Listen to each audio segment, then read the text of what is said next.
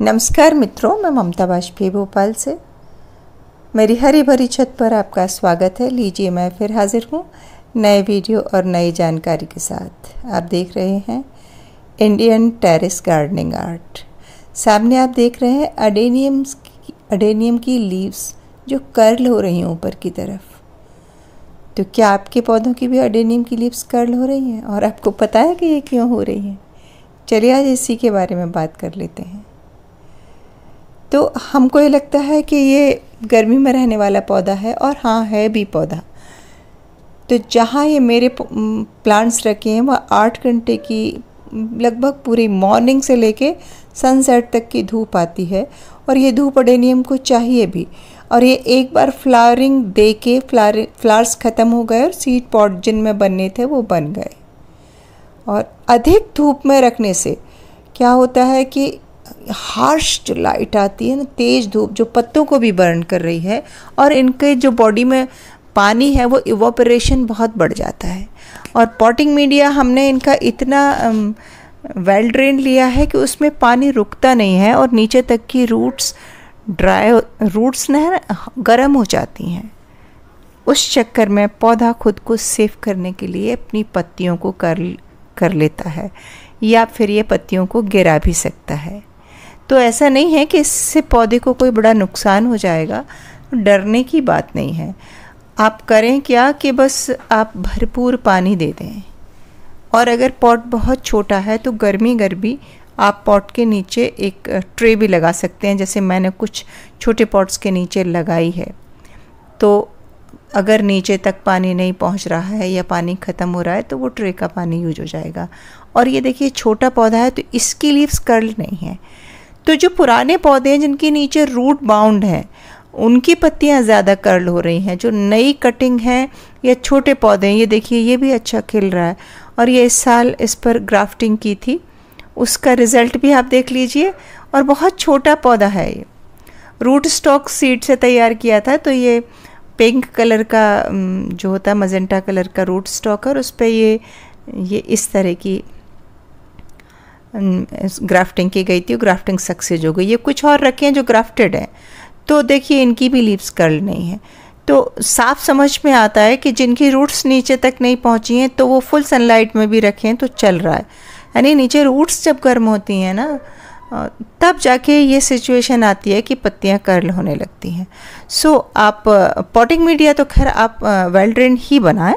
उसके लिए इसलिए कि आज तो चलो ठीक है कि पत्तियाँ कर्ल हो रही हैं, धूप तेज है, और ये तना भी है ना पीला पीला हो जाता है सनलाइट से बर्न हो जाता है एक तरह से। तो आज तो चलो हमें लग रहा है कि पत्तियाँ कर्ल हो रही हैं तो हम ज़्यादा पानी डाल सकते हैं। लेकिन अगर हमने इसका पॉटिंग मीडिया यानी कि मिट्टी ऐसी बनाई जो थोड़ा पानी होल्ड करती है, यानी कि सैंड वगैरह कम मिलाई तो क्या होगा, बरसात में पौधा गल जाएगा। बरसात में निश्चित ही रूट रॉट के चांसेस बनेंगे। तो आप ये दो तीन चीज़ें तो ध्यान रखें कि हाँ गर्मियों में आप फिर रेगुलर पानी दें पौधे को। लेकिन इसका पॉटिंग मीडिया आप बहुत ज़्यादा भुरभुराई बनाए वेल ड्रेन ही बनाए सैंडी बनाए। और बहुत बड़ा पॉट भी नहीं दें क्योंकि बहुत बड़ा पॉट गर्मियों के लिए तो ठीक है, लेकिन जब बरसात आएगी और बड़ा पॉट होगा तो उसको उतना ही ज़्यादा मॉइस्चर मिलेगा और अडेनियम के लिए ज़्यादा मॉइस्चर बहुत ही ख़तरनाक है। आपका अडेनियम कम मॉइस्चर से लीव्स गिरा सकता है, उसका कोडेक्स श्रिंक हो सकता है, उसकी पत्तियाँ कर्ल हो सकती हैं, फ्लारिंग कम हो सकती है। लेकिन मरेगा कभी नहीं, जैसे ही बरसात आएगी वो वापस हरा भरा हो जाएगा।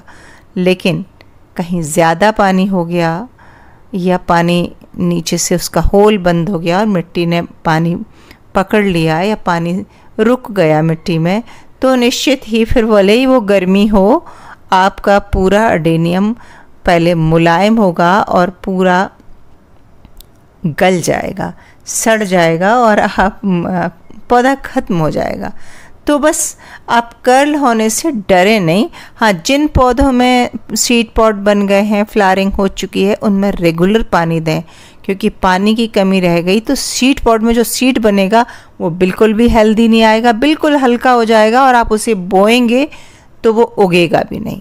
तो अच्छे सीड के लिए पानी, जब सीड पॉट बन रहे हैं तो पानी भरपूर दें। आप फिर जा, पानी ज़्यादा देने से क्या फ्लावरिंग कम हो जाती है, पत्ते ज़्यादा हो जाते हैं। तो ठीक है, कोई बात नहीं, हम फिर फूलों की चिंता नहीं करेंगे, उसमें जो सीड पॉट लगा, उसकी चिंता करेंगे।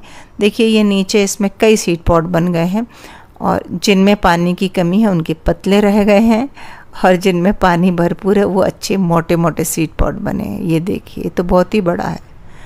और कुछ आपको बहुत बारीक दिखेंगे। तो पौधे की साइज़ पर भी ये सब निर्भर करता है। तो बस आज का ये वीडियो बहुत छोटा सा था।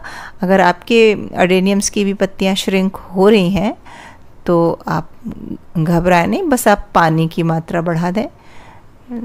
एवरी डे पानी दे दें और इतना पानी दें कि नीचे तक पानी ड्रेन होके रूट्स तक जाए। और इकट्ठे एक जगह रख देंगे तो भी उससे फ़ायदा होगा, क्योंकि उससे ह्यूमिड वातावरण रहेगा और फिर ना आपका ये श्रिंक नहीं होगा। तो उम्मीद है कि वीडियो पसंद आया होगा। और पसंद आया हो तो लाइक कीजिए शेयर कीजिए और सब्सक्राइब तो मुझे कर ही लीजिए। मिलते हैं अगले वीडियो में। तब तक के लिए नमस्कार।